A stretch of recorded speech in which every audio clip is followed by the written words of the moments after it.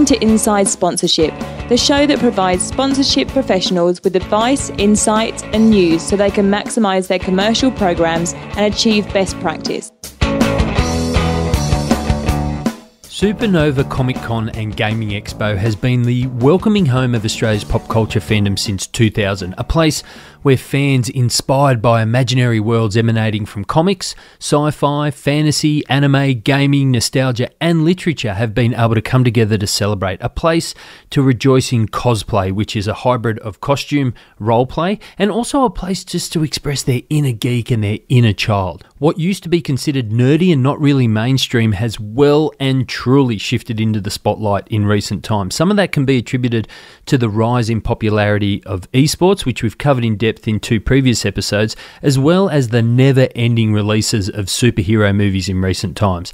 At Supanova, superstar celebrities, fan clubs, exciting exhibitors, and exclusives have been woven in with entertainment technology, collectibles, and toys. And whether they are 7 or 70, Supanova boasts an incredibly engaged audience who have huge passion for the content, and that presents a great opportunity for brands through sponsorship. I'm your host, Daniel Oyston, and welcome to episode 59 of Inside Sponsorship, where we take you inside the sponsorship and commercial programs of both rights holders and brands right around the world. It's great to have you listening into the show. No shout outs this time, which is very sad. So if you're listening and you haven't gotten in touch, be sure to shoot me a message on LinkedIn or email using daniel at sponserve.net. We'd love to hear where you work and what you love about the show. In this episode, we go inside sponsorship at Supanova and hear from Patrick Bradley, who is responsible for business development brand partnerships. But first, the FIFA World Cup has finished up, and while the action on the field was awesome, Sam Irvine, Sponserve's GM product, loved what Budweiser did as an official partner of the tournament. And Sam's blogged about some of Budweiser's activations and highlighted some of the things that we can all learn from them. Here's Sam. Sam Irvine, your blog this week is looking at the FIFA World Cup 2018, which is by the time this show comes out would have finished. Yes. Who won? Uh, France. Croatia won. Okay, They everyone. won. One all, extra time, maybe shootout. Shootout. Every, everyone's laughing because France has definitely won the game because based on your blog right at the end, it says you're going for England, and we know now that England are out. So if you've done the opposite of what Sam says, you should be smiling. But no, I'll put. I'll take that blame. It's not coming home, England. I'm sorry. in in all seriousness, you've taken a look at how Budweiser has overcome what you might call the bleak commercial opportunities Mm. because it's it's not such a you know the, the market's different in that It's part. It's not a commercial hotbed. Russia. Let's Mm. yeah. Let's not kid ourselves. Yeah. So let, let's jump into it. What have you had a look at? How have you framed it? Well, what it's funny. I, th- I remember a couple of months ago, I, I was reading a couple, a few things around uh, FIFA partnerships and how the next two World Cups, that being Russia and then Qatar after it, will be a, a whole different ball game. Pardon the pun, for for them compared to previous um, editions. Given that they've been in either in America or France or Germany, you know, places that really are quite westernized when it comes to commercial opportunities. Um, they're quite Western sponsors like Coca Cola, Budweiser, um, uh, any of the technology companies are, are sort of used to dealing with those Western markets. And so when you're talking about, even though it is a world game and it's it's the biggest and you know world event ever, uh, you still need that ability to be able to talk to the local market. And so that's the things I was reading was that um, it would be limited for these sponsors, and it might not be. They might not see the outcomes that they were hoping from from other and maybe future editions. So for me to see then what Budweiser's been doing, a lot of it digital, a little bit of it in in house or on screen for us watching it over here in Australia. Has I've been really blown away and they, and really take their hat off. I want to take my hat off to them, and in what they've done. In really not, it doesn't feel like they've sort of taken a step back because it's Russia or because it's a totally different sort of culture over there at all. And and so I had there's about three or four key things that sort of stuck out to me. Yeah, awesome. And we're going to jump in and, and we're going to talk through the different elements of their campaign. And it strikes me as that these days we're very lucky because we've got you know, such access to more digital opportunities so we can extend our reach and our activations outside of an event like this online and reach people instantly right around the mm-hmm. world which was you know 30 40 years ago is probably quite hard. Well Yeah. it would have been mm-hmm. very hard and, and much more localized campaigns. But we're going to look through a couple of things. There's some awesome videos so people need to head to sponserve.net head to the blog to check out these videos. But we think that there's or you think that there's a couple of things in in each video that really highlight what Budweiser have activated and executed well that we can all learn off. Yeah, definitely. And and wouldn't it be great if we all had that, uh, you know, the budget, The budget. And the reach, or if we worked with partners like Budweiser. But for me, they all gave small little lessons that you could take and apply at any level, no matter sort of sort of where you are. So for the first one for me was have a, a global campaign, but create targeted markets as well, or identify and talk to those targeted markets. And for Budweiser and FIFA, this was um, a campaign called Light Up the FIFA World Cup it was based around some cups that eventually light up by noise you make and things like that. But not just the gimmick element. What I really loved is that they created a really big launch campaign that appealed to the whole global market. It wasn't specifically focused on particular nations, ambassadors, or anything like that. It you could have been a a sports fan of any sport, of any sort of background, and you would have enjoyed their launch. You would have enjoyed the videos and the content that were coming around that global campaign. But then taking that next step and going, all right, now we actually have to speak to the Asian market, to the Australasian market for a wider experience. We also then need to identify South America as a key different market to North America. Now that North America is not in the World Cup, we need to sort of approach it differently. And so that's where I was blown away. Their use of different content, different videos, different ambassadors at that targeted level was where I really um, think we could take lots of lessons out of this. And so if you bring it back to a local level or even uh, you know national or, or state, to be able to go, all right, we, we want to tell a message that applies to our whole stakeholder base, but then piece out little bits that actually you can talk to individual stakeholders about. I think. Very good. So, so while it's a global partnership, figure out how you can apply it uh, locally while still leveraging, obviously, Yeah. the global. Make it relevant. Sounds difficult, but definitely doable. and like we said, if you've got the budget like Budweiser, up, you can't miss that opportunity to do that. No, What's the second one? Fan engagement. so the second one for me was fan engagement, but but in public places, right? So not just at games or not just at pre-organized events. Um, and and if this, I just love this video. So as Daniel's already said, jump on it and try and, and have a look too. But just for those listening in the uh, audio format at the moment, there's a, a little video where there's a vending machine in a number of public spaces, not just in an Asian country or a South American, but probably ten different or uh, you know um, countries there where you would go up and you, you go to get a beer from this uh, you know, vending machine, but it would ask you to cheer. And the louder you cheered, the more likely you were to get a beer. But And not if you didn't that. cheer, you got feedback that it wasn't good enough, Yeah, right? you did, yeah, exactly. So that worked in both both uh, directions. But those that actually showed some passion, showed you know more than just the cheering ability, were, got given free tickets to the World Cup, and then their reaction was just so infectious. The some of the tears, some of the over overwhelming joy that they had from that experience. And some of it could well have been staged. Who knows? The production values were amazing, Hmm. but the number of people in the background videoing at the time just the random public capturing that that would have been then on shared by them was just would have been mental. So they're standing in front of a vending machine. They're going to cheer maybe like a goal's just been scored. So we're very excited about this part of the interview, listeners, because Sam is now going to demonstrate how he would no have way. cheered in, in front of the vending machine. No? No way. Okay, so- that's unfortunate. Very disappointing for our listeners. We th- and so what we've seen then though is that ability to to create your own content and to do it in a public space though where that organic content is almost even more valuable. Infectious. Yeah. And then other people mm. come up, they Yeah. cheer. Why are you doing it? Mm. Let's make sure we look this up online. Yeah. Let's Yeah. share it. Let's mm. have a discussion. Yep, very No, cool. exactly. And really coolly, you also, I assume you also got a beer or you get a beer out of this vending machine. It's not just giving World Cup bonus. tickets, but didn't actually, I don't think that video actually showed anybody drinking the beer. No, no. But They're quite careful with that. I think they and and so what I really think as as a general rights holder or a brand at, at different levels, the part we can take out of that public activations are done all the time everywhere, right? And it's probably not the first surprise and delight you've ever seen, but the way they did it around different regions, um, you know, different outcomes, being able to utilize that public to on sell that, really, I think as a local rights holder or brand, that whole surprise and delight is totally invaluable. Mm, I, I was just going to make the point that they probably engaged with the product and had a beer and stuff, and then I just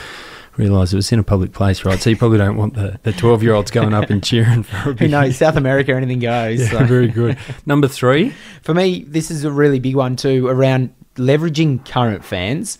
Now, brands are really good at that in general, right? Like you, you obviously you work with the rights holder because they have a market space already. They already have an engaged um, market that's that's listening or, or, or talking to them or, or willing to sort of hear messaging from your partners. But this video, this is probably my favorite. I love it. I love this one. It's and so what it was uh, once again for those listening on audio, um, there's a glass box.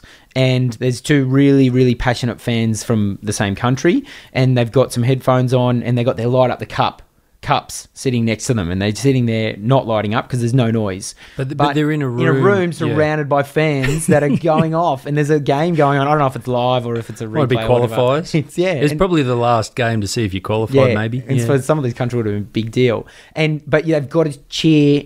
No, they don't can't cheer. They've got to cheer quietly for you know. The part, Can't make any sound whatsoever. So they're trying to give high fives that are really soft, and they're just they're jumping around the room, but keeping them like holding their breath, and, it, and it's just so engaged because you put yourself as an avid fan my, myself, you put yourself in that How long would do you have lasted? Oh, eh, first, first, first penalty, I probably would have struggled. I would never put myself in that No, situation. I'm like, you're not, you're not going to last, mate. Just No, go out exactly. and enjoy the game with everyone else. And so for me, it was um, once again a piece of content that uh, was so engaging and could be. What it, it was applied. There was probably six different couples that sort of came in, couple uh, coupled up people, and different countries, different reactions, um, but the same thing, same outcome. Really, really um, great content that you could piece up per region. Yeah. If certain regions aren't, you know, only wanted to show the English fans in England or whatever it might be. Mm. But just engaging that passion with those current fans. We've all been in that position where you wanted to scream at the TV, or maybe we all haven't, but I, I know I have.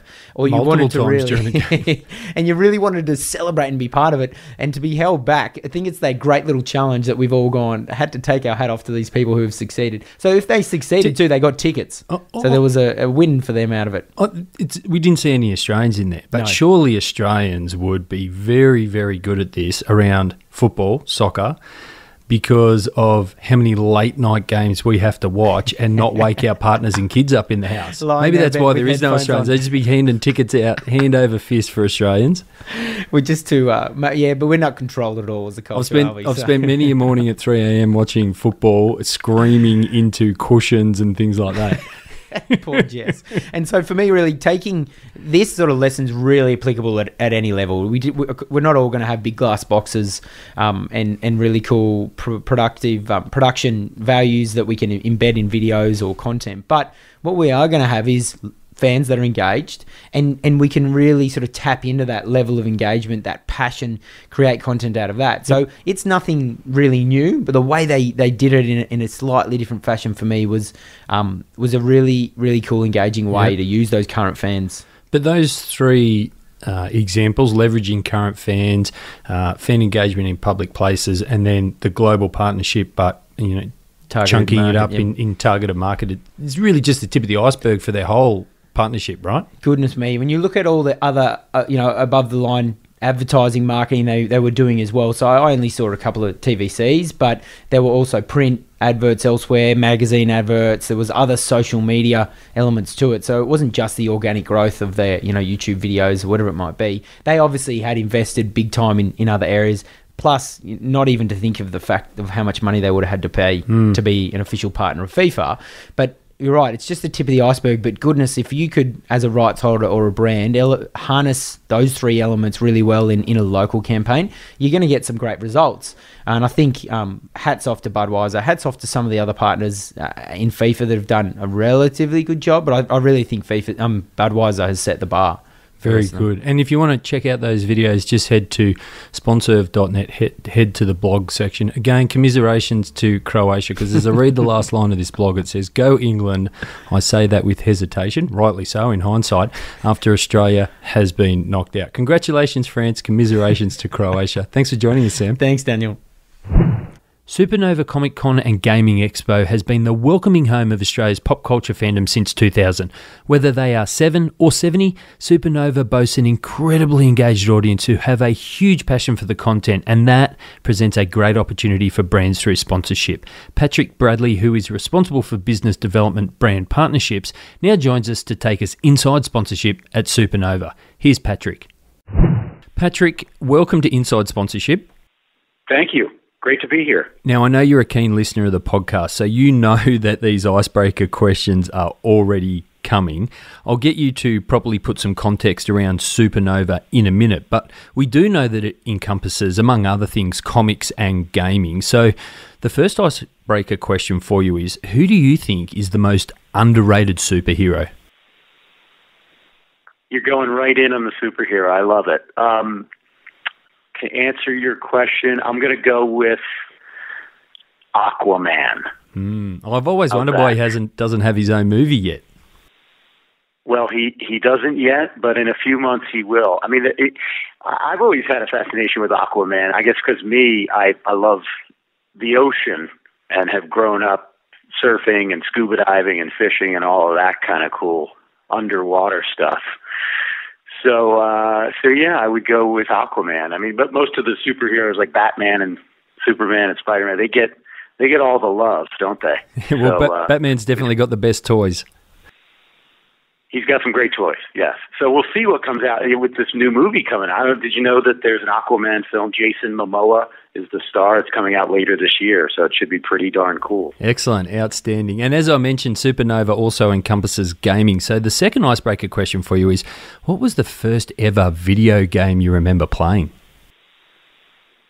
Oh, yeah, video game early on. I mean, I, I thought about this, and well, I mean, I, I can bring us back to the 80s where I was playing Atari and Intellivision. Have you ever heard of that one? No. Intellivision? It was that was an old school console. Um, so yeah, those are some of the you know in my parents' basement kind of uh, you know uh, gaming experiences back in Philadelphia or what I like to call Philly if you're from there, uh, in in the U.S. And so anyway, had some of those, and then one thing I think the first time I actually got sort of an experience about a gaming addiction where you you can't wait to get home from work or school or whatever and get to it was in the 90s using a PC a game that some of your listeners might remember called Myst which was kind of like a role playing game. And you know, for those of us out there who geeked out on Myst, you kept your own little journal and unlocked clues, and it was uh, it was pretty intensive. I think it stole three weeks of my life back then. So that was that was the first foray into getting really, really into a game. And and uh, although I don't really consider myself a gamer now, I I, I own a couple consoles and do dabble in some PC gaming. But um, I know a lot about the industry, just kind of working within it. But yeah, those are some of the great memories of my first gaming stuff. Very good. Now, Patrick, what's been your journey so far to leading up to your current role? It's been eye opening in a lot of ways. I mean, I, I I've had a couple of lives, I like to call them, in business prior to Supanova. I've worked in uh, most recently the same industry in the United States, which kind of is how I, I cut my teeth on the mass ticketed event production and experiential marketing world. So I came to Supanova uh, with a pretty robust bag of, of tools from, from that.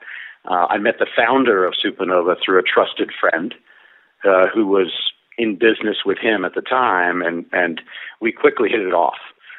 So, uh, you know, he, he took a risk on me in a lot of ways, especially being primarily based in the U.S. And, uh, you know, you know, I was brought on to positively affect the business in a few key kind of revenue generating ways. But, uh, you know, Supanova, you know, it, it definitely touches on a, a personal passion of mine, which aligns with the founder. I mean, it comes out of, of the founder's world of comic books and, and, you know, a decade plus later has become a real mature and, and thriving business, the largest of its kind in, in Australia. Um, you know, I was blessed on the timing of entering the business as it still had a lot of growth, uh, but it had a foundation that was really incredible. And I noticed that right out of the gate. So, uh, you know, I quickly identified a couple areas where I can make an Im- impact and sort of an instant impact, specifically building the whole brand sponsorship practice uh, that took what was already there uh, and the national footprint, a passionate audience, a nice little digital platform, and, and the core business of the six city major live event tour um, that brings out fans of you know all ages for an experience of their life or certainly an experience of the month and package it all up for brands and agencies to be able to understand and embrace um, so it was really kind of a great raw group of assets that I could play with when I got to the company, which is now about two years ago. So, um, you know, to, to quickly touch on some of those areas of impact uh, beyond the brands uh, that I've been able to to really help is one is selecting and, and attracting A-list TV and film stars uh, to sign up and join our tours uh, as superstar talent and make appearances at our events. So that's, a, as you can imagine, a very important feature of, of our events where fans get to interact, meet and greet, get photo ops and autographs with top film stars and TV stars and other stars.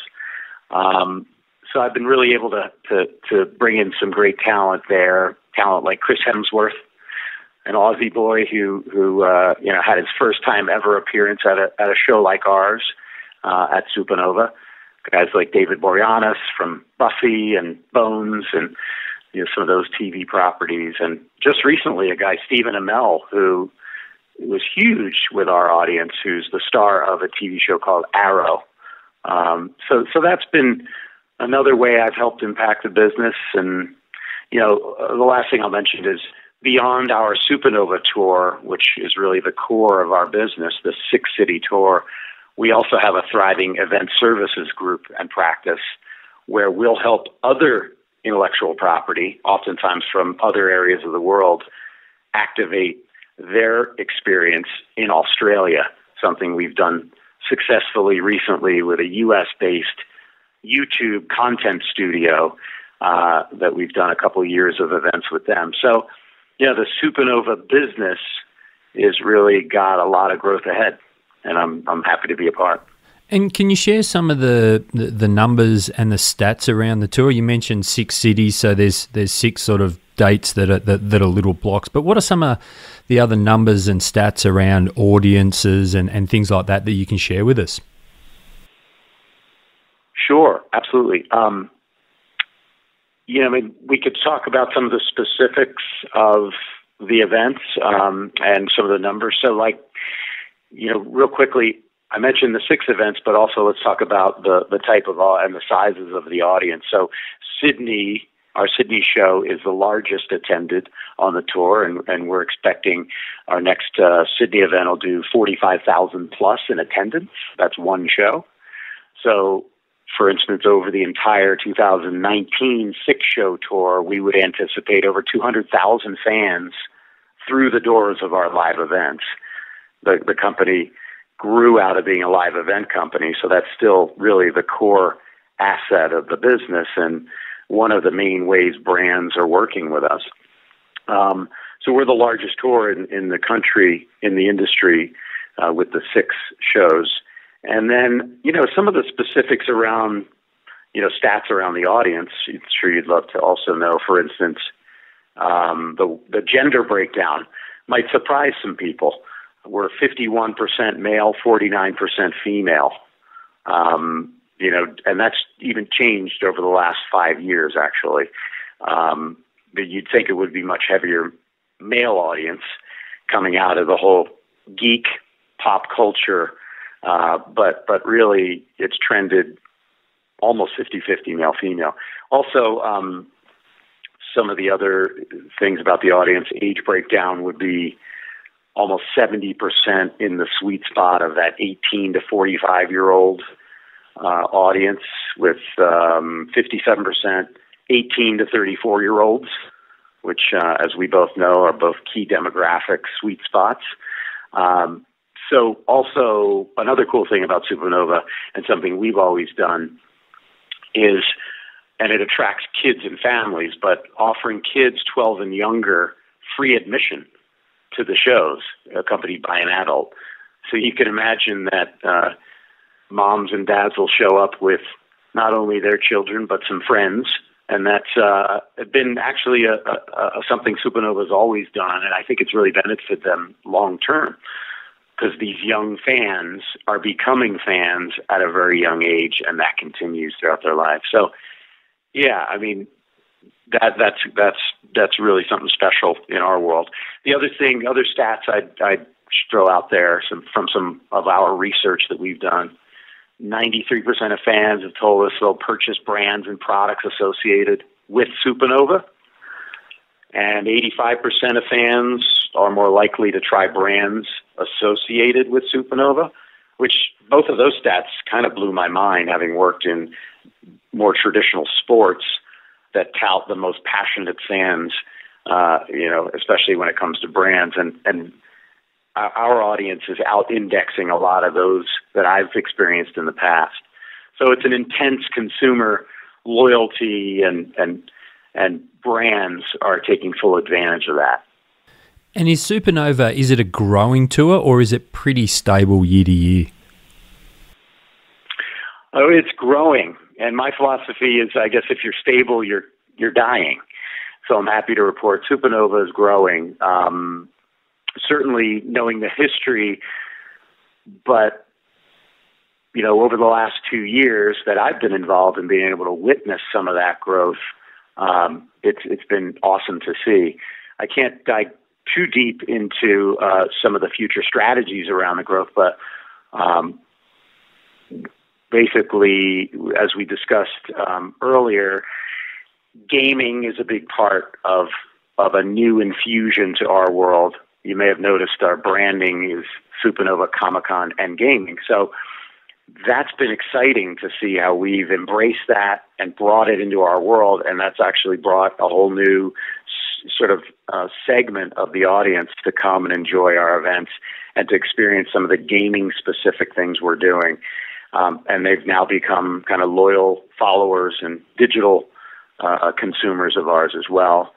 Um, you know, we're aligning with some of the key endemic uh, gaming brands as part of that as well, um, and sponsors are embracing that as well. So, yeah, the growth has been nice. Um, I'll give you some some other examples of that. For instance, um, a great new brand relationship uh, on the tours with a console giant, Nintendo. Um, just you know, they just joined the tour for the year um, in a significant way, in a very cool activation sort of way, where their gaming console, the Nintendo Switch, where we have a Switch zone right in the heart of our show floor for fans to engage and play and and play their games. Uh, we have competitions and and things like that, but it's very much for the fans, with the fans, um, and and that was that was just started in April. They had a successful uh, experience and decided to continue on with the year as we grow into that relationship. We've also embraced other gaming uh, partners like the publishers. Those are the folks that make the games. So um, we had a publisher just start working with us in a in a nice way. Bethesda Games, for instance, um, looking to engage our national audience and and the, the, the newest area of gaming uh, that can't be ignored and is white hot is esports. How much do you know about esports? Well, we've done two shows on esports, so uh, I, I, like to think I know a little bit more than the average man. But it just it blows my mind at the moment. It's just crazy. Yeah, I caught one of those two shows, a gentleman from the Bombers, and um, we've actually worked with his team, uh, the esports team, who came out to our Melbourne show, and uh, you know, in, you know, was part of our show and did some very cool stuff on uh, our show stage.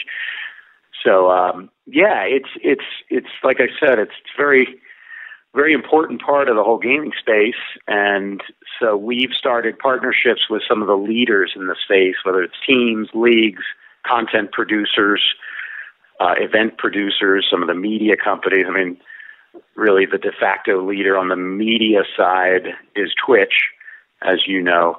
So we we've been we've been enjoying uh, getting started working with them, and you know we, we've we've invested energy and some money in the space. We actually have a nice partnership with the Esports High Performance Center that's making some waves over at the Sydney Cricket Grounds facility. Um, you may have heard what's going on there, but there's a gentleman there who's a trailblazer in Australia for esports, Dave Harris and Guinevere Capital. So we've we've um, you know, started doing some stuff with him. Uh, incubated a team that we call Superstellar.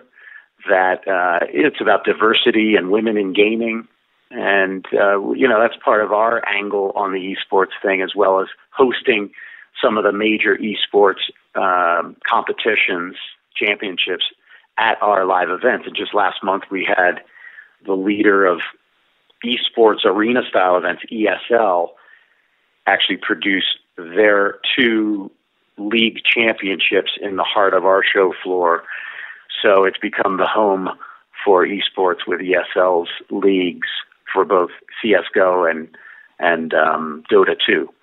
So that was really cool and, and a great treat for our fans. I know all the uh, more than a dozen teams that were flown in to, to be a part of that, where only two teams could win.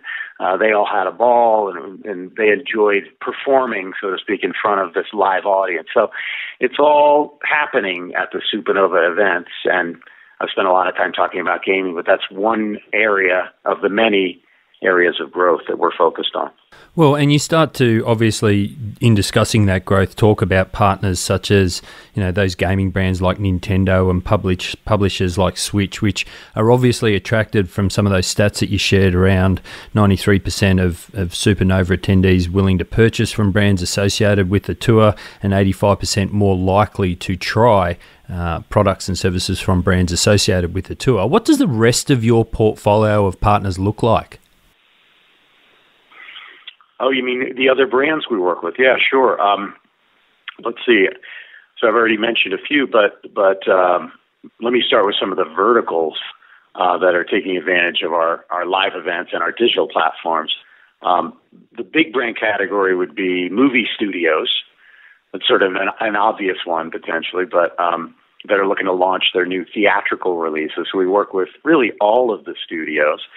Um, studios like Universal, who just did a very cool both online, you know, digital campaign and an on-site VR experience for fans related to the new Jurassic World movie that just eclipsed one billion dollars worldwide, and and Australia being a key, actually overperforming market for for that title for Universal and Supanova was really one of the key launch partners for the film. So the movie studio category with uh, you know with Universal and Sony and Roadshow and Disney Marvel and and more. Also the TV streaming, uh, obviously TV properties, um, but also the new world of streaming content is is just blowing up, and we've been working with Stan, you know, the Aussie streaming service for for a while. Um, and you know, we talked about gaming and not only just the consoles, but the publishers and the peripherals and the products and the hardware and the technology, they are all working with us. Um, you know, retail is always a big category, not only the endemic retailers, but also, um, you know, the, the, the more mainstream, like there's a brand MWave that uh, we work with that's a leader in video gaming type tech. That's an online only retailer um, really the de facto place for for um, people to go to buy PCs, monitors, peripherals, stuff that you know is vital to the young tech savvy gamer. Um, so they're on the tour, and it's awesome to see what they bring for fans to experience at the shows. The huge activation where everybody from Intel to um, you know like brands that are kind of you know endemic brands like Coolmaster and and um, HyperX and MSI, and those are brands a lot of people don't know unless you're really in the thick. Um, but the other verticals, QSR, toys, um, you know, and then there's other, you know, verticals that we we haven't tapped yet, that haven't joined the tour, that we're very anxious to work with. To give you a few of those would be like beverage, energy drink, believe it or not, uh, travel and hospitality, automotive, wireless, you know, things like that. I think we're we're a great place for, but it's just a matter of time. You know, in a sense, I came in to what was really a blank canvas in a lot of ways, um, and and really had to kind of package it up to translate to the to the brand decision makers and the agencies, and we're there now. So now it's just a matter of uh, either us finding them or vice versa, which both are happening. Now, you're a self described part time Aussie, splitting your time between the US and obviously Australia. How much of a challenge is that? Yeah, I'm. I'm actually uh, glad you asked about that. It's it's kind of crazy, and at times very exciting.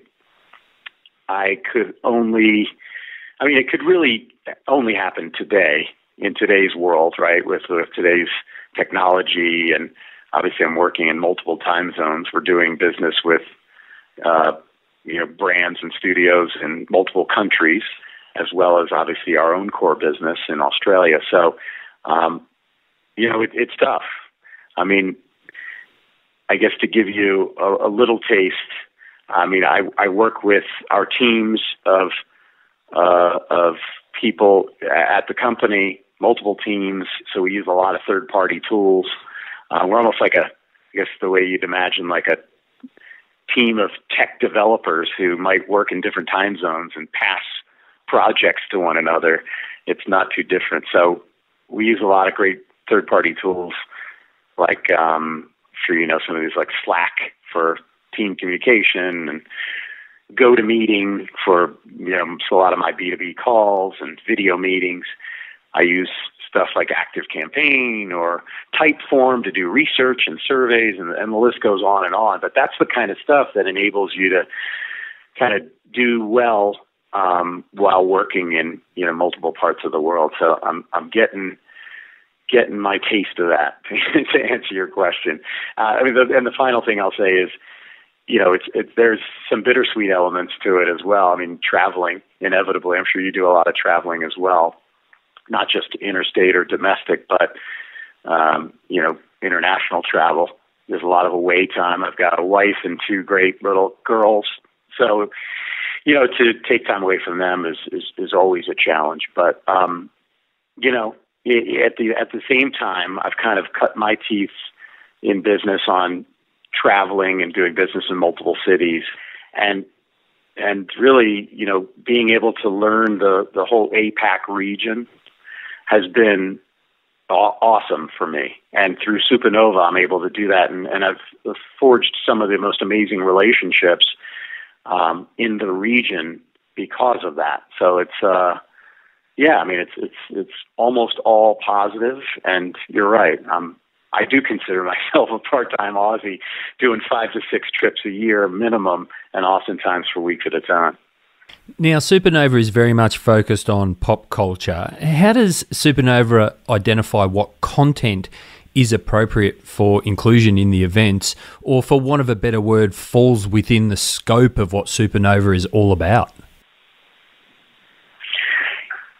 Well, in some ways, it's pretty similar to like categories of of uh, media and entertainment that we that we choose to exhibit at the shows. But ultimately, as far as like what content is appropriate, um, you know, our brand stands for all things movies, TV, comics, toys, collectibles, um, anime and sci-fi and fantasy, games, as we talked about wrestling, uh, cosplay. Um, for those of your listeners who don't know what cosplay is, it's sort of the art of dress up, which our fans, some of them take very seriously. if you've ever walked around uh, uh, one of our shows, you'd see amazing studio quality co- costumes uh, that people on their own creatively make, oftentimes in their garage or home studio. Um, you know, and these are costumes from like Marvel superhero movies, Justice League, DC, or Doctor Who, or Walking Dead, and it, the list goes on. Um, but you know that that's that's sort of a mix of all the content you might see from old classics and you know legendary uh, franchises like Star Wars to new hits like Stranger Things on Netflix, or you know. But then um, from a content positioning standpoint, I'll, I'll touch on that we've always prided ourselves in very family friendly and tasteful type content that's exhibited from trailers that are shown in all the theaters or TV commercials will will all be on brand as well as um you know we do a lot of original content at the shows in multiple theaters. So from a live event standpoint we'll if there's PG or M rated content we'll make sure it's uh, done in a, in a way where it's sort of, you know, appropriate, whether it's off the show floor in a theater um, with designated notifications and things like that. So, um, family friendly from a content uh, brand perspective, and you know, I, I mentioned all the kind of genres of content that you'd see in the mix around our both events and digital as well. Patrick, what do you think are the benefits that you offer at Supanova that are best placed to help brands connect with what you describe listening to you talk as a really highly engaged audience? And are there any unique ones that you think really set you apart? Having worked in digital media tr- and traditional media, TV, film, print, and now live events, um, I've had a lot of exposure of where we are now in consumer marketing. With the information age like fully in bloom, it brings awesome ways to get your impressions in front of consumers. But more and more, I think marketers are realizing that the real life in person experience, you know, has to be a part of, of your mix. And it's always going to trump a digital impression, if you will, that life, real life, tangible experience. So at Supanova, we're we're all about we offer all of it really. I mean, we come from the live event experience, and now we've wrapped a digital communication set around it as well. So, um, you know, we, we have digital impressions and fan engagement through web-based takeovers and content and other kind of more traditional like EDM and uh, we're rolling out a mobile app and uh, a new kind of fan engagement mobile app, and the ability to produce low cost short form content, um, sometimes even tied to like celebrities and things like that. I mean, social media, online contesting, all that kind of stuff. Um, you know, where brands can work with us if they want to choose just a purely digital side or both digital and ad event. I mean, sometimes you know, due to the timing of a launch, um, it doesn't sync with one of our events where it could be purely digital. Um, so, so those are sort of more, I guess, the more traditional ways with hopefully our secret sauce in there as well.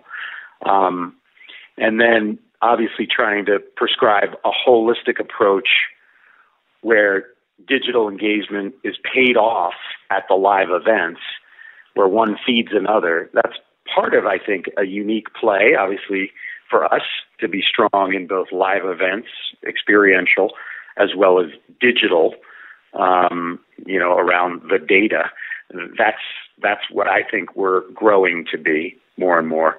Um, I'll give you an example. We just completed a, a pretty robust campaign with Madame Tussauds Sydney, uh, in which they were launching a brand new Justice League experience at their Darling Harbor location. So we were an obvious fit, and it, I think it quickly became clear to them the perfect launch partner for this new Justice League, they call it a call for heroes experience at the museum.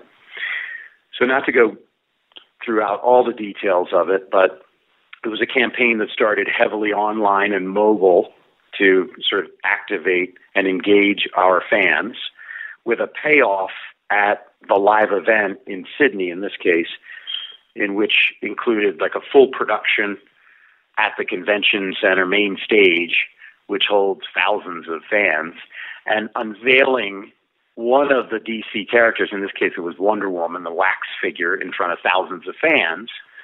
Uh, it had a, and then on the heels of that was a whole photo social activation to kind of get way beyond the event. Uh, and that happened in the center of the show floor. And then the final piece was after that event, where a few lucky fans, through a whole online comp and contesting experience, got to attend the exclusive premiere event. So it, it, it started digital, it went live event, it came full circle, had another digital piece, and then actually uh, allowed some lucky winners to be part of the launch. So that's you know one that comes to mind. That's a pretty interesting and unique way to tap what we do, um, Uh, you know, in, in, a in a very unique way. And that was around a launch. We also look at brands that are 12 month a year marketers and and how do we do things very unique for them that that again have the digital and offline real live event approach with them as well. So hopefully I've I've answered your question, but you know we, we, we try to look for those unique connections between brand and us that give the fans, the ultimately the consumers, why this is stuff is really happening from a brand perspective, something special. That's our secret sauce. What are your thoughts generally on the event based sponsorship landscape evolving and outside of just content? What do you see as driving real value to sponsors to entice what we all probably want those long term deals with, with sponsors? And generally speaking, not just Supanova, but rather than just short term campaign events? Well, that's a really complex question in a lot of ways, but it's also sort of simple in other ways. And I and I, I almost feel like we need a whiteboard session with this one. But let me take a stab at it. Um, well, the first thing that comes to mind is, um, you know, what are the aspects uh, of your kind of aspirational long-term deal that builds over time through the working relationship that may be.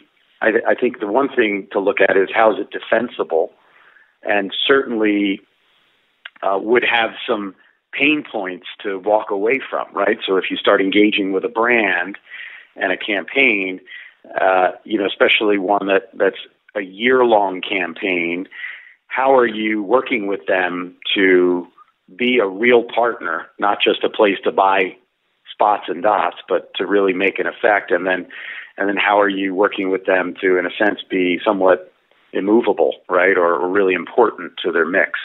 I think that's where you start from. Um, the byproduct of the campaigns you're delivering and and are gathering data potent- potentially that's that's possibly being used by the brand. Um, are you doing research programs with them on top of the campaign to prove the value of you working together? To me, you know, those are the things. You know, pe- marketers are smart. You know, and, and today's day and age, they have to be. So, how are you helping them be smarter ultimately? Again, not just, I mean, you've got your your kind of toolbox of standard offerings that brands and agencies can buy, of course, and that's going to be part of the mix. But then what is really, I think, where you got to focus your energy that, that we try to do that. Um, you know, so, so it's not like the one size fits all um, marketing uh, offering, which which today's world is not. Um, certainly, there's going to have, like I said, those things that they're going to want to tap, whether it's you know the basic media stuff that you offer, but but what are you doing unique beyond that, and how are you really becoming an important part of their their business and business change? You know, so I mean, you I, I guess ultimately what I'm saying is you want to create an offering that is, of course delivering on all their success metrics, you know, their KPIs, blah, blah, blah, but really trying to carve out something exclusive and special and unique while making sure you deliver on all those, those boxes. Um, so, you know, speaking on behalf of Supanova, uh, you know, as a live event producer, we you know, we can't do everything end to end for a partner. There's certain things we look to third party partners to, to deliver as part of a program. So that's another thing that I think is kind of critical in the delivery process is oftentimes to fill in some of the areas where you can't satisfy with really trusted quality service providers. Uh, that's another thing that I think can kind of enhance the your delivery and ultimately your success rate on re-upping and growing that relationship. So, I, you know, those are some of my thoughts. Um, but yeah, obviously, shooting for evolving a relationship into a long-term uh, deal is is um, all important. Patrick, you mentioned before that the split between male and female is pretty much 50 50. 70% of, of people that come to the tour are 18 to 45 year olds, but really importantly, that sweet spot of the 18 to 34 year olds are about 57% of your target market. You've got uh, that, that offer for 12 year olds and under to come for free if they're coming with an, an adult, which exposes the, the tour to more people and grows your audience and your engagement all that translates into 93% of people there are willing to purchase brands services and products who are partnering with Supanova, 85% are more likely to try. That sounds like a really strong position to be speaking to brands from about partnering with you.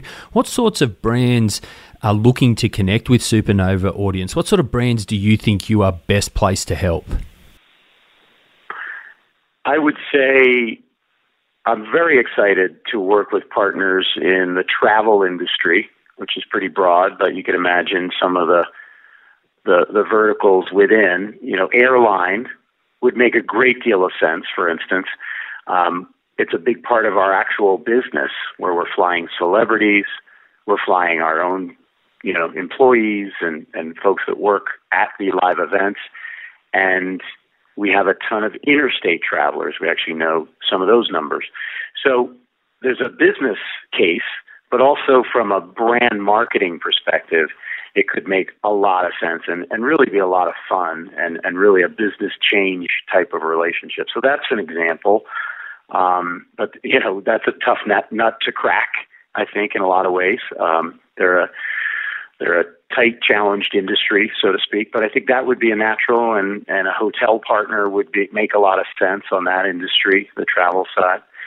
Uh, the financial services is a is a wide open vertical for us, and I've seen it work in other parts of the world at events just like Supanova.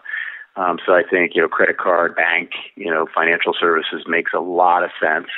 It's a vertical that's starting to dip their toe on the esports and gaming side of the world. Um, and I guess lastly, I'll touch on would be automotive.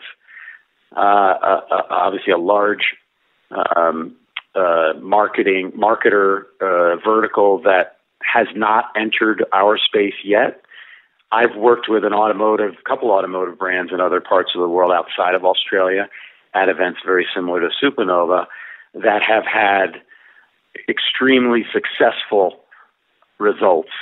So I think that's a natural, um, you know, to bring in the right automotive and brand within uh, to be a first mover uh, on the Supanova tour makes a lot of sense as well. So those are some verticals that I'm excited to to start to to have dialogue with and and teach them a little bit about about our world and have them start and learn and grow let's flip it for a second. Let's. I, I want to help brands understand the role that that they can play. Let's say I'm a brand in one of those verticals that you just described, um, you feel as though we could align well with Supanova in a specific way.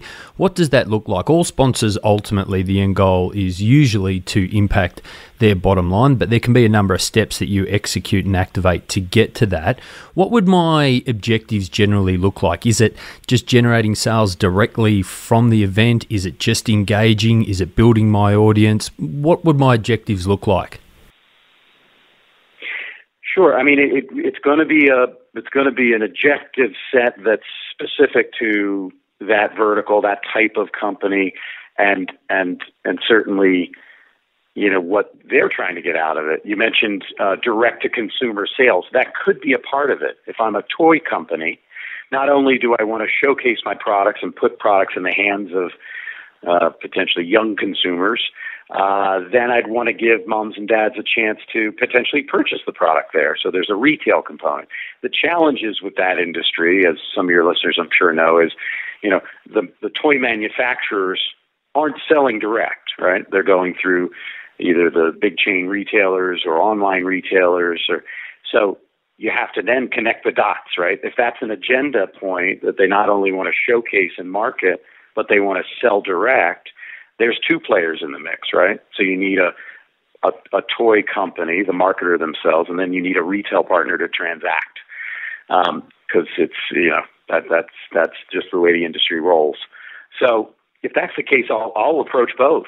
and we'll have the marketing team at the brand generate the experiential budget and and and result, and then we'll have the retailer, you know, if you've ever seen the documentary Exit Through the Gift Shop, they'll be there to then be the talent, the uh, retail partner on site to make that transaction. So, you know that that's just one specific example. Every industry is going to have their own set of challenges that you need to to address, but um, you know a lot of marketers are there to do what do what that says, which is market the product, generate awareness, excitement, so that people leave and either have given us their data or given the brand their data to re to start a digital relationship and or you know they leave with an experience that then translates into uh, some transaction in the future.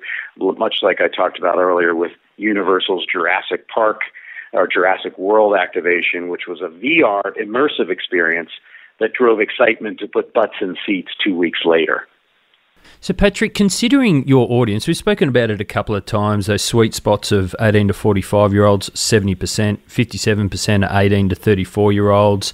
You've got a pretty even split with male and female. Considering your audience, do you see yourself as having any direct competitors in the sponsorship space like a football team or other sports teams would have other teams and other sports they compete with because your their audience demographics are so similar? Do you have competitors that have really similar demographics that you think you compete head to head with in the sponsorship space?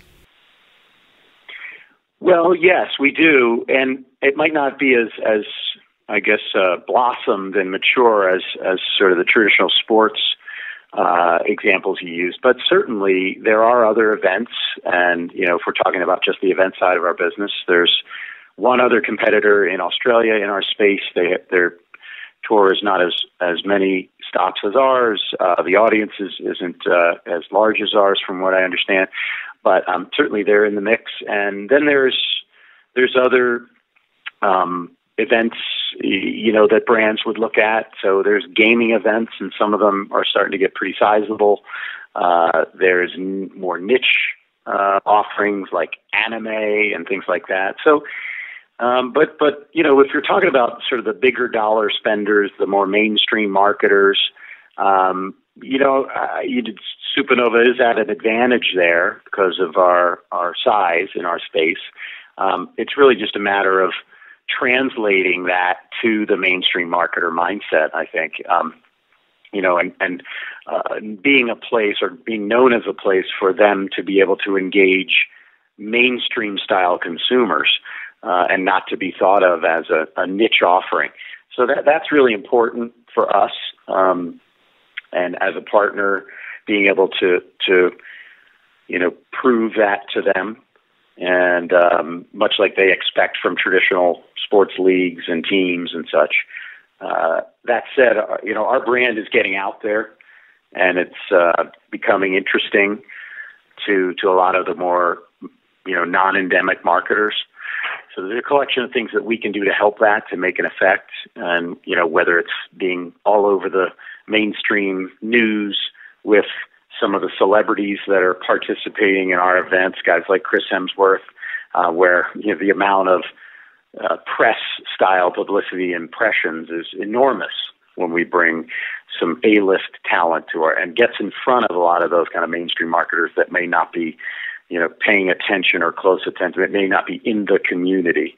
Oftentimes, some people that are in decision making um, uh, positions will have someone they work with sometimes younger, will have a, a son or daughter or someone in their lives who are very passionate about movies, entertainment that fit the supanova zeitgeist. So inevitably they'll know about us, but not oftentimes as intimately as, as they'll get to know when they start working with us. So yeah, I mean, I think competition is is always there. There's a lot of choices for dollars, as you know.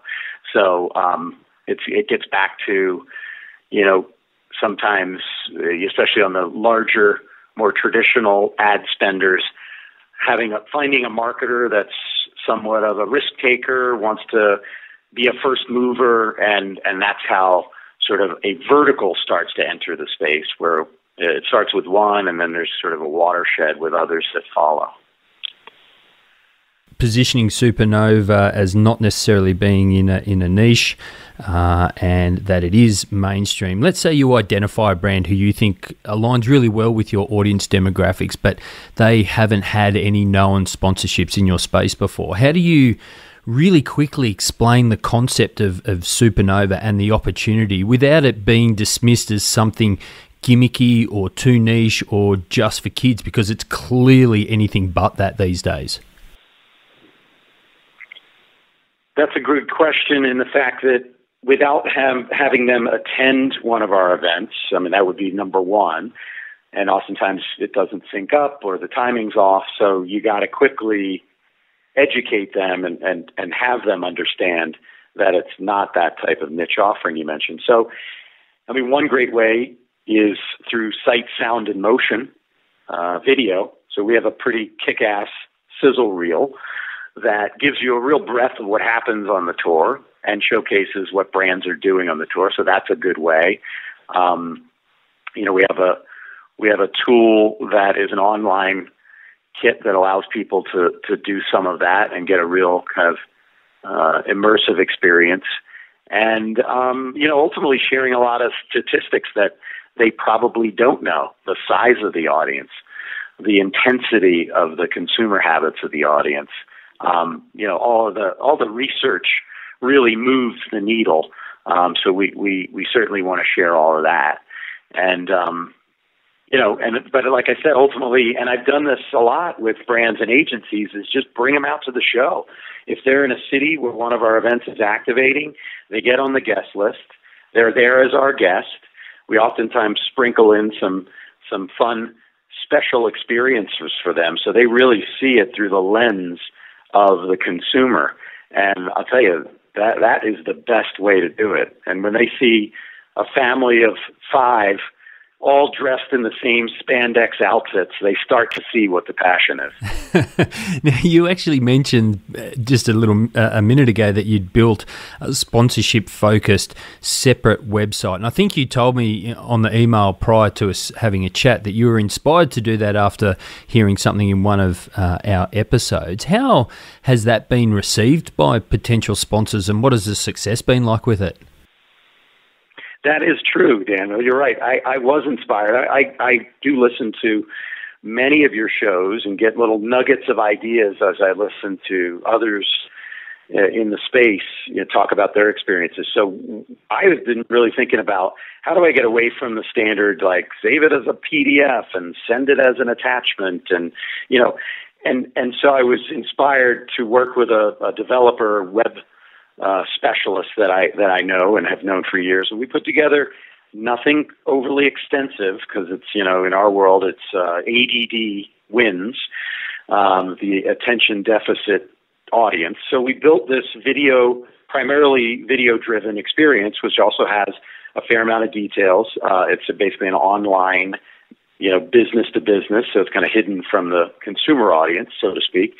Uh, kit, where marketers or folks in, in their office can go and on their own take some time. There's case studies and video, uh, uh, short form videos that tell the story. And then, of course, some of the stuff they're most probably interested in, which is how do I buy? What are some of the costs and things like that. So, yeah, it's really been a helpful tool that I suggest people go to even if they reach out or we're put in touch and they're interested in speaking, I invite them. Of course, I don't mandate it, but I invite them to take a minute of their time or a few to comb through that. And, and usually they come and say, wow, you know, I, I learned some stuff I didn't, I had no idea the size of your shows or whatever it is. And, you know, so all the vitals are there with hopefully some entertainment as well.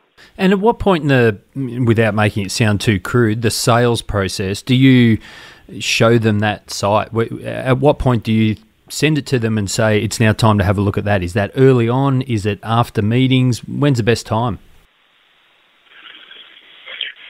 Well, I like to offer them a chance to look at the sizzle reel and the and the kit, the online kit, prior to us kind of getting on the phone for an exchange or meeting in person. Uh, although, if I'm meeting in person or one of our team is, uh, we'll just sort of set the meeting, go there, and, and sort of put on the show. Um, but you know, the, the, there's a process that we like to keep, but again, that varies depending on how it comes in and and and what's what's the the the interest level and how much do they know about us and things like that. But you know, I mentioned a couple of the things, and then the other would be we'll often craft a discovery series of questions to either take them through, which is usually you know more beneficial to them and their time, or send to them prior to the call if they're farther down the the the, the funnel, if you will. Um, so that that's been a, a nice tool for us, and it helps us kind of narrow down their their their wants and needs, and also gives them things to think about and react to. Because uh, what we'll find is a lot of of um, you know folks on the marketing side will come in. They don't know everything we know about our business. We always have to remember that. We have to kind of spoon feed certain things and and pretend that they they they don't have all the knowledge we have certainly because they don't so these are some of the tools that help us to do that and also kind of you know walk them through the process which i think they appreciate so that's them getting into business with us once they get into business with us that's when the other sales side of the process uh, begins about how to keep them and keep them happy and grow it Patrick, let's take a look at some case studies of work you've done with sponsors, which are actually on that sponsorship focused website that you were just uh, explaining to us. You've got Nerf, MWave, Sony, and Twitch as case studies. Let's take a look at MWave. What were the objectives of MWave? What did they want to achieve? How did they activate their sponsorship? And what did the success look like that they enjoyed? I'd love to answer that. I, I would say also, Daniel, is we should um, offer up the, the site I mentioned on the prior question. I forgot to give the URL in case people wanted to ch- take a look. And, and it's a pretty simple URL, which is sponsor.supanova.com.au. Supanova.com.au is our consumer facing site. So if you just add the word sponsor dot in front of that, you'd get there. Um, so I invite people to check that out.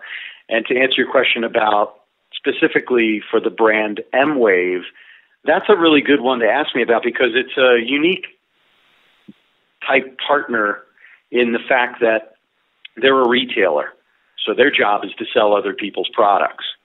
They not only want to get their brand out there in front of our consumers as the de facto choice when people are looking for technology based stuff, but also the brands that they sell within. So they've kind of got a two pronged initiative that they're always uh, up against. So they sort of co op market, as you probably are familiar with, with a lot of brands. So it's been a really amazing thing for the company to work with because we're working with the primary retailer, but we're also working with about a dozen brands within that each have their own marketing initiative and each have quote chipped in budgetarily to participate in this tour wide experience. So it's a pretty robust campaign and package uh, for for the tour. Um, so that, that's sort of the overview on it.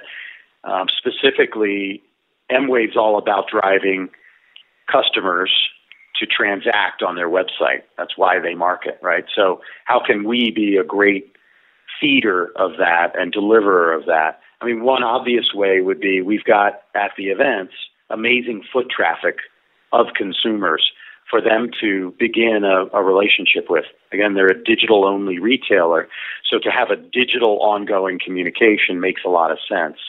So we're doing things with them at their stand, for instance, that allows and encourages fans to sign up and become and start that relationship. So through some touch screens around the the massive uh, PC gaming zone is what it's called.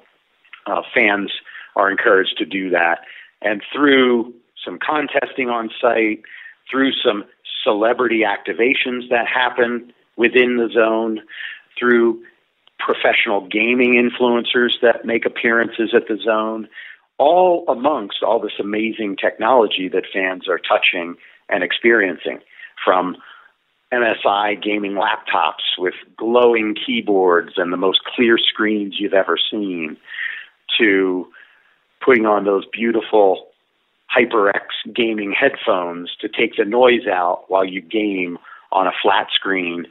You know, all of this stuff is happening throughout the PC gaming zone for fans to, you know, touch and feel the products, but also, again, give access to you know what's ultimately a device in their pocket so that MWave can really begin to start that digital communication relationship. So I think we've been really effective for that. This is the second year we tested it last year was so successful they kind of doubled down and and and grew that commitment with us and and they become really a tentpole brand at our events and digitally between our events as we do some really exciting things with them. So um, hopefully that gives you some nuggets around the case study aspect of it, but a big, big success for us in working with them and the suite of brands.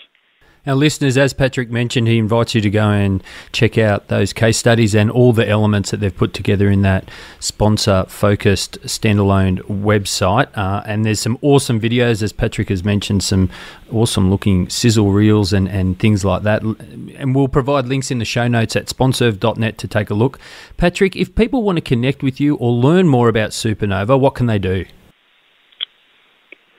Well, first they could send me an email and since this is a uh, industry specific audience, I'm happy to open that up and invite anyone to shoot me a note who wants to learn more, chat, um, may work at an agency or a brand and wants to to start to engage. Um, that's simply Patrick at supanova.com.au. Pretty simple.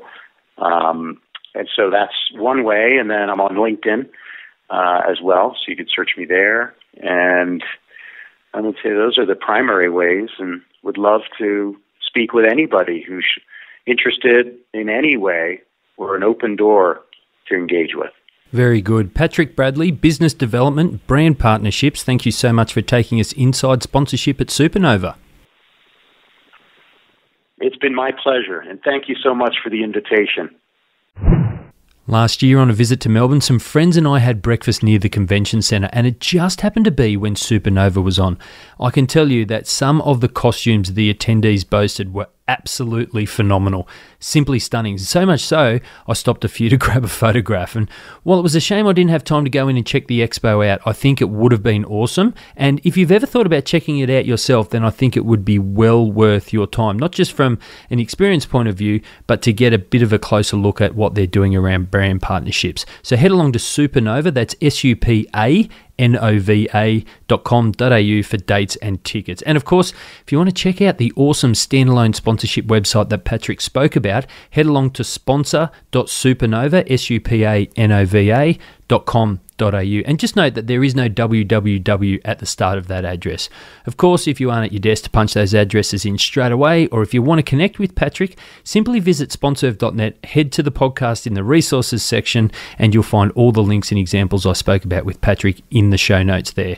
Now, if you loved everything about what Patrick described about Supanova and thought, wow, that'd be a really cool rights holder to work for, then you are in luck because Patrick is actually looking for someone to help him out in Australia on the sponsorship sales front. So if that sounds of interest, be sure to connect with Patrick or you can just drop me an email and I'll make an intro for you. Also, don't forget, if you'd like a shout out, just get in contact and I'll make that happen as well. We'd love to hear from you. If you want to connect with me, you can do so on LinkedIn. Just search for Daniel Oyston or drop me an email at daniel at sponserve.net or on Twitter using the handle at sponserve. And if you want to connect with Sponserve's GM product, Sam Irvine, you can email him on sam at sponserve.net and you can also find him on LinkedIn. Don't forget, you can also follow Sponserve On Facebook, LinkedIn, Twitter, and Instagram. Just search for Sponserve. Until next time, I'm Daniel Oyston. Thanks for listening to Inside Sponsorship.